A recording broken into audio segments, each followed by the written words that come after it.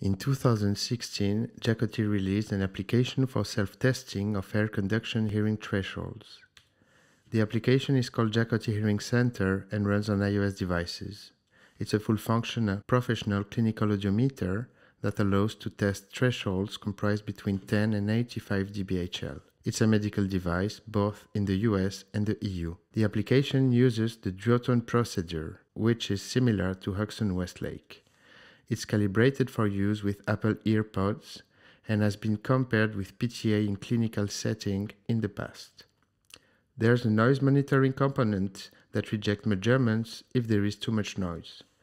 The data is stored on our EarCloud platform. This allows to have access to significant amount of data points for an uncontrolled but noise-monitored test environment. We show here the number of test retest audiometry pairs obtained in function of frequency tested and of grade of hearing impairment. The same data can be shown as a function of the interval between test and retest. We can see that the data is concentrated for short-term intervals. We divided our dataset into a short-term dataset for an interval of maximum 20 days and a long-term dataset for an interval between 20 and 90 days.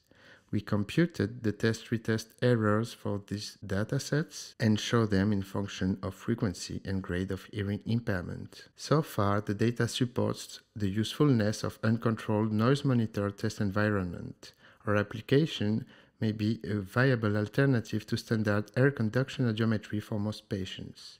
As the next steps, we want to cross-reference this data with other data we have available, such as questionnaires, user-dependent usage patterns, and the influence of the noise environment. Thank you.